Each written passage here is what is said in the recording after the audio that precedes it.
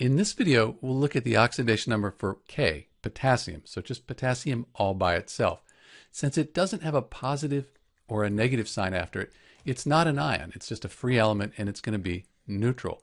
When we have a neutral substance here, all the oxidation numbers, they have to add up to zero. So it's just potassium, it's got to be zero.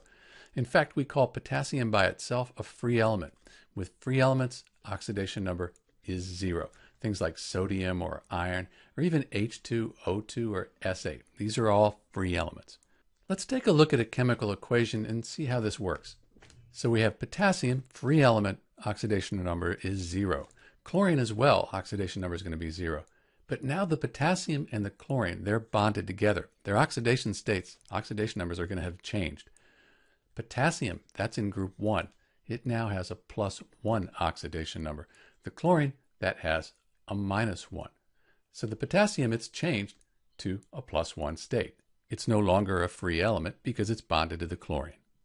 So to recap, potassium by itself as a free element, it's called elemental potassium, that'll have an oxidation number of 0. But when it bonds to something else, most likely its oxidation number will be plus 1, although minus minus 1's possible.